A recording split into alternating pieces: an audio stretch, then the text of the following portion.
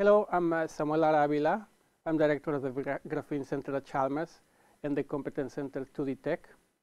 Uh, and in these centers, we work actively uh, in trying to bring uh, graphene research from the lab to the marketplace. So what is graphene? So graphene is the thinnest material known to us. It's made of carbon atoms. And these carbon atoms are arranged in a honeycomb or hexagonal uh, fashion. Uh, and this type of arrangement, this symmetry of the crystal and the chemical bonding between carbon atoms give graphene very interesting and special properties. Uh, this we knew many decades ago from textbooks, but now we have confirmed uh, with experiments uh, that graphene is very, uh, very strong, so uh, very stiff, yet we can uh, bend it, so it's flexible. heat can flow very efficiently.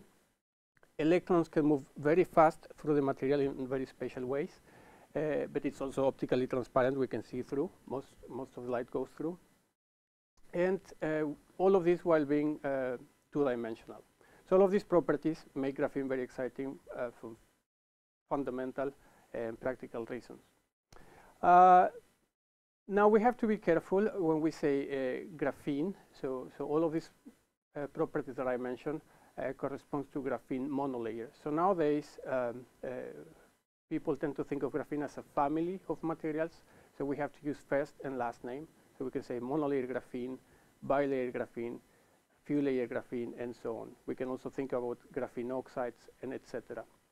Uh, and this is important because different members of this graphene family have different properties. So when doing research and development activities, it's important to pick the right member of the family, uh, uh, which closest satisfy the needs that we, uh, uh, we are uh, targeting. Um, these different members of the graphene family uh, may come from the different way they are produced. So nowadays uh, we have methods to produce powders, uh, graphene-based powders. Uh, we can produce also films.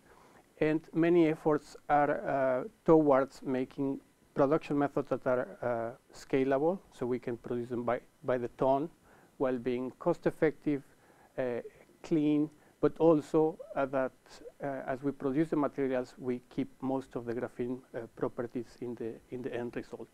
So nowadays we can buy uh, graphene materials online. One can go and find many suppliers of powders, uh, films. So it's important to check the specs that the producers promise.